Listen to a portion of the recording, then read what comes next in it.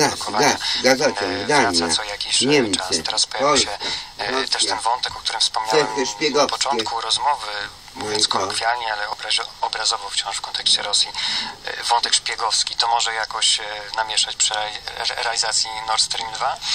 O, to, to dla, małego, dla małego porządku. Dania może w tym sensie nie zablokujemy ułożenia tego, ułożenia tego gazociągu. Owszem, przyjęła prawo, które umożliwia jej e, uniemożliwienie ułożenia gazociągu ze względu na sprzeczność z interesem polityki zagranicznej, czy też zagrożenie dla bezpieczeństwa, ale Rosjanie przekonują, że są przygotowani na taki wariant e, przyjęcia, znaczy tego, że Dania uzna ten projekt za niezgodnym z jej interesem e, z polityki zagranicznej czy bezpieczeństwa i przygotowała trasę alternatywną. E, Tylko, że trasa alternatywna oznacza wzrost e, kosztów tego projektu, chociaż Rosjanie przekonują, że tak nie jest, to inny kontraktor Gazpromu przy realizacji Nord Stream 2 powiedział wprost, że każda, że ta zmiana trasy to jest 5% kosztów więcej, więc e, to prawo nie zablokuje tego projektu, ale może go e, opóźnić, co też jest e, e, korzystne z punktu widzenia realizowanych przez Polskę projektów dywersyfikacyjnych, bo przypomnijmy, Polska chce do 2022 roku, aby powstał gazociąg Baltic Pipe, aby nad polskie wybrzeże docierało m, 10 miliardów metrów sześciennych rocznie gazu z szelfu norweskiego, co jest rzeczywistą realną dywersyfikacją nie tylko dostaw gazu do Polski, ale także do państw, e, do państw regionu, więc Nord, Stream 2 i de, de facto nasz projekt rywalizują o ten sam, o ten sam rynek gazu, przy czym Nord Stream 2 oznacza polityczne i gospodarcze uzależnienie od Rosji, a nasz projekt dywersyfikacyjny jest rzeczywistą dywersyfikacją i możliwością na zwiększenie niezależności energetycznej nie tylko naszego kraju, ale także państw regionu. I to wszystko w dzisiejszym wydaniu magazynu. Gościem był e, pan Piotr Stępiński, biznesalert.pl, Adrian Bąk. Do usłyszenia. Powtórka programu. Reklama. Edukacji Medialnej Polskiego Radia. Zaprasza osoby zawodowo pracujące głosem, występujące publicznie, dziennikarzy, menadżerów, nauczycieli, polityków, prezenterów i handlowców oraz wszystkich zainteresowanych zdobyciem umiejętności świadomego i swobodnego posługiwania się głosem. Na szkolenia dotyczące sztuki mówienia i pisania, posługiwania się piękną polszczyzną. Szczegółowe informacje na stronie www.cem.polskieradio.pl Telefon 22 645 20 45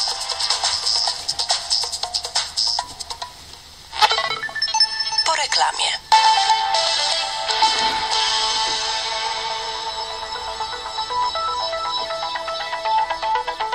Tu Polskie Radio 24 zbliża się godzina szósta. Szósta, tak. Szósta. Informacje dnia. Polska ma prawo bronić swojego dobrego imienia, mówi prezydencki minister, komentując słowa premiera z Monachium. Czy będzie ograniczenie dostępu do broni w USA? Zmian w przepisach chce Donald Trump. Na koniec Pjongczang, gdzie polscy skoczkowie odbiorą medale olimpijskie. Aleksandra Kozera, zapraszam. Polska ma prawo bronić swojego dobrego imienia, mówi sekretarz stanu w kancelarii prezydenta Andrzej Dera, poproszony o komentarz do słów premiera Morawieckiego z Monachium.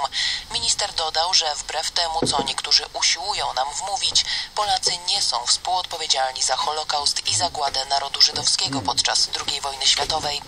Andrzej Dera na antenie TVP Info przypomniał, że tylko w Polsce Niemcy wprowadzili karę śmierci za pomoc Żydom, a jednak to Polacy uratowali najwięcej Żydów. Mówienie, że to Polacy są współwinni Holokaustowi jest nieprawdopodobnie niesprawiedliwe i naprawdę z tym trzeba coś robić, bo będziemy mieli taką łatkę, która jest bardzo niebezpieczna w kontaktach potem i biznesowych, i politycznych, i turystycznych, że Polak to antysemita, Polak to ten, który doprowadził do zagłady Żydów i przed tym trzeba się po prostu bronić.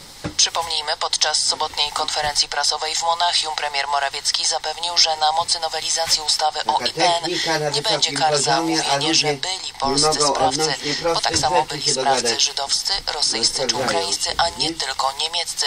Słowa te padły w odpowiedzi na pytanie izraelskiego dziennikarza, który powiedział, że wiele osób z jego rodziny zginęło, ponieważ donieśli na nich do gestapo Polacy i chciał wiedzieć, czy mówienie o tym byłoby w Polsce karane. Słowa premiera skrytykowali izraelscy politycy, nazywając sformułowanie żydowscy sprawcy niedopuszczalnym. Dziś rząd zajmie się projektem ustawy wprowadzającej elektroniczną receptę. Już do końca tego roku apteki mają być przystosowane do realizacji e-recept. Natomiast do końca przyszłego roku wszyscy lekarze powinni przepisywać leki elektronicznie.